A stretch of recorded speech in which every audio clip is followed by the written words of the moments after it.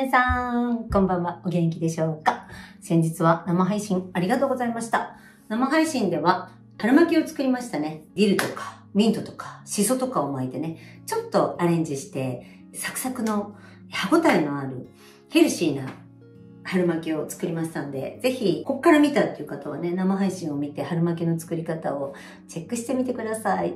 えー、ということで、今日はその春巻きを作ったので、ご飯とちょっとした野菜のね、炒め物なんかも作って完成させたいと思います。という料理の動画でございます。では始めます。はい、ということで、今日は、あの、春巻きも後でもう一回あげますけど、ご飯をちょっと、あの、炊こうかなと思って、2合のお米を水につけてました。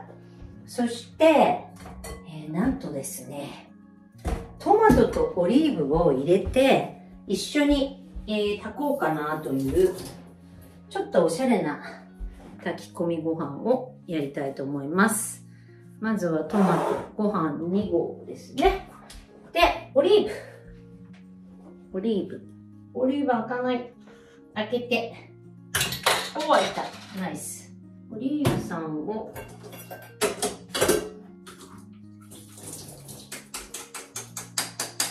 出てきてください。オリーブさん出てきてください。はい、すいません。オリーブを潰して、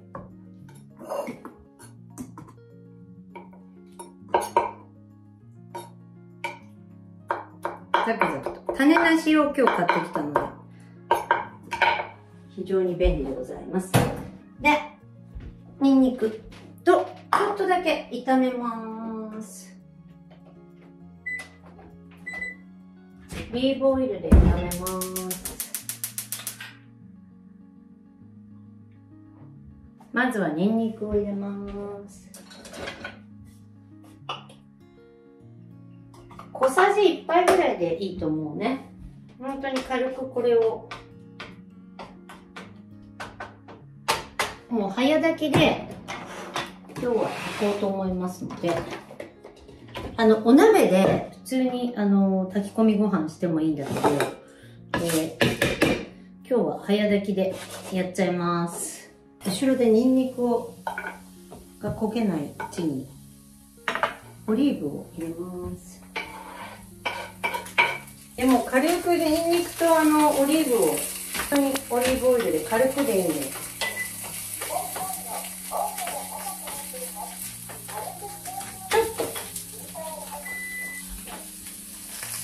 炒めたのをご飯の中に入れちゃい。ます。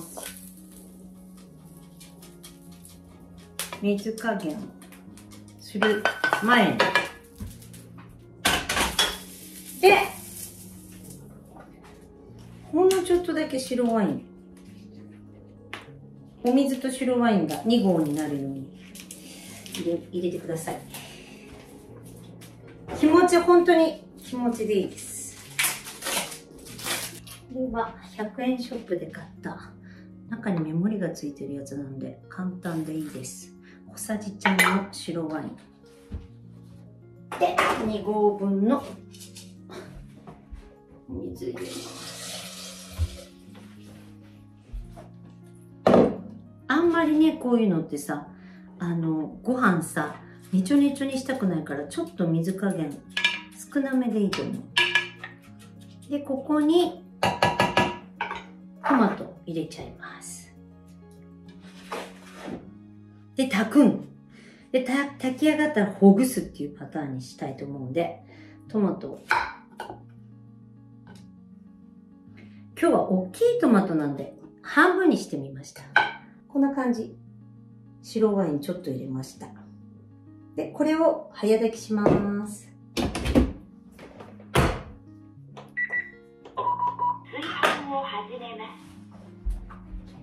ということです。それをやってる間に、野菜をちょっと今日は炒めようかなと思っております。さっきのね、生配信で使ったハスもちょっと残ってるので、そしたら、まずハス。ハスは、これぐらいの大きさで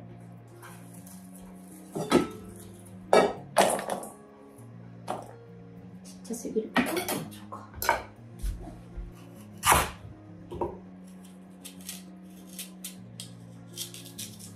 今度大きすぎるねもうちょ皮むきでもいいんだけど。ちょっと皮むきがいいな。ピューラーがこれでいっちゃいます。ハスね最近好きなんですよ歯ごたえがあって。美味しいですよね。このハス。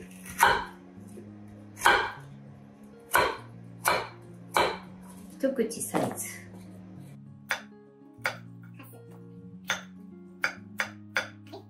そんでブロッコリーさんはもう切ってあるのでブロッコリーさんとここに、えー、アスパラを切ってありました。さっき切りました。のであとしいたけ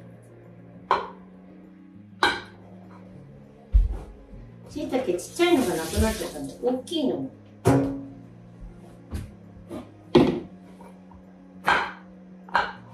しましょう。はい。これを簡単に鍋で蒸し焼きにしたいと思います。はい。そうしましたらこの大きな鍋にちょっとオリーブオイルをひいて。でちょっとニンニク。さっきね余ったやつ使おうと思って。ほんのちょっとしかないですけど。でここにベーコン入れちゃいます。そう最近こうやって切れてるベーコンあるから楽よね。で、このお鍋は、あの、無水料理もできるお鍋なので、後で概要欄に、あの、このお鍋本当に便利で大好きだから、これもそうなんだけど、マルチポット。これもね、ご飯炊けたりとか、本当に、これも無水鍋、無水料理できるんで、ぜひ皆さん、あの、いいですよ。すごくおすすめです。はい。で、これの、ここに、さっきの、無水料理もできるから、カレーとか何でもできるんだけど、水の量が本当に少なくても、野菜が美味しく、えー、蒸されるような煮、煮るのもすごい火の通りが早いんだよね。火の通りにくいものをちょっと先に入れて、しいたけ。で、アスパラ、ブロッコリー。こんな感じで、水ほとんどいらないんですけど、ちょっとだけお水を入れて、蓋をします。これでもう数分経てば出来上がっちゃうっていうね。後で味の調整はしたいと思いますけど、とりあえず野菜の旨味だけで火に弱火にかけておきますさあそろそろいい感じになったんじゃないかね。ブロッコリーもほらアスパラもそんなに火を通さなくていい料理だからもうあのいいんじゃないかなと。でここにちょっと胡椒とお塩を入れて今日はちょっとコクを出すためにバターを入れましょうか。バターといっても私は乳製品を避けてるので普通のあのバターでも全然いいんですけど私は植物性のビーガンのバターを使います。これ普通のバター全然 OK ですから。こんな感じでもう野菜の味だけで後でちょっと味は調整します。出来上がりでございます。さてとでは生配信で作った春巻きをもう一回弱火で揚げていきたい。作り方は生配信を見てください。ご飯が後ろで炊けてるのですごい音を立ててます。と蒸しといた野菜もいい感じに出来上がってます。今日はね今次男が帰ってきたのでなんか自分でチキンを焼くって言ってるんですけどこれも一緒にシェアしながら、えー、私が作った料理も食べてくれたらなっていう感じです。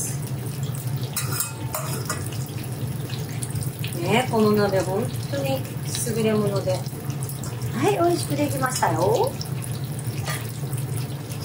春巻きもいい感じなんじゃないでしょうか？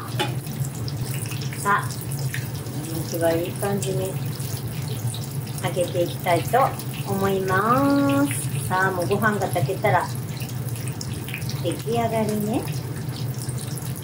弱火でじっくりです。ご飯が炊き上がりました。開けてみましょうほんまかファーンかわいいでしょ？これあのー、丸ごと1個のトマト入れたらもっとね、見栄えが、えー、可愛いんですけど、見えますかね？いい感じじゃないでしょうか？これ。はい。じゃあちょっとこれはね、こう混ぜたいんですね。こんな感じで。いい感じですねめちゃめちゃ香りがいいです。ちょっとワインをね、入れたことで、洋風な香りになってますね。オリーブがまたとてもいい感じになってます。出来上がりましたよ。はい。さあ、ということで出来上がりました。生配信で作ったヘルシー春巻き。中は白菜とネギとレンコンと椎茸と鶏の胸肉とお豆腐を入れました。そしてこのお野菜たちに巻いて食べてほしい葉っぱとディルとかね、えー、シソとか、ミントとかを今日は用意しました。で、こっちは中華ドレッシングのアレンジなので、ぜひ生配信見てくださいね。ここにあるのは、えー、缶チューハイに、えっ、ー、と、ミントとレモンを入れてみました。で、お野菜、いろいろさっきね、作ったものとご飯でございます。出来上がり、残ったものは、えー、息子に食べさせるという。お野菜はね、2、3日持つので、こんな感じの夕飯になりました。はい、ということで出来上がりました。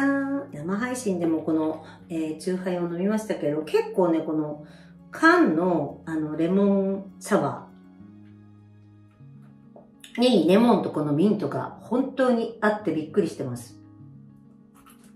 そして春巻きは葉っぱに包んで、えー、食べるというね、好きな葉っぱに包んでこのままでも十分味が、あの、染みてるから、あの、何もつけなくても大丈夫だけど、まあ、こういうのって味がね、飽きるので、私は、えー、こういう風に葉っぱをね、いっぱい巻いたり、そのまま食べたり、このあの中華ドレッシングのアレンジでちょっと味付けしたりとか、そんな感じで楽しんでます。鶏の胸肉だからヘルシーだし、お豆腐も入ってるし、とても美味しいです。いただきます。うん。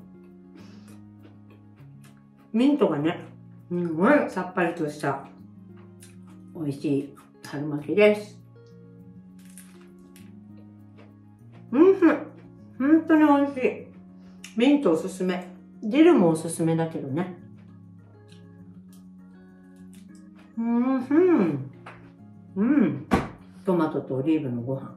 ニンニクも入れましたよね。これね、アンチョビをちょっと炒めて入れても美味しいですよ。今日はアンチョビなかったから。ニンニクとオリーブとトマトだけにしましたけど。うん。美味しいです。炊飯器に入れるだけでいいから、バッチリだよね。お野菜。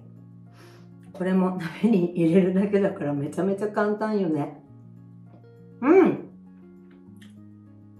しっかり火が通ってて。ヘルシーで美味しいです。ということで、いかがでしたでしょうか、えー、お野菜いっぱいのヘルシーな食事を今日は作りましたけど、生配信の方も、また春巻きの作り方も振り返って見てくださいね。ということで、もうすぐ3月ですね。3月になったら桜も咲いて花見の時期になるから、そんな春も大切にしながら、毎日ハッピーに過ごしましょう。ということで、今日も最後まで見てくれてありがとねじゃあまたすぐねバイバイ。Thank you.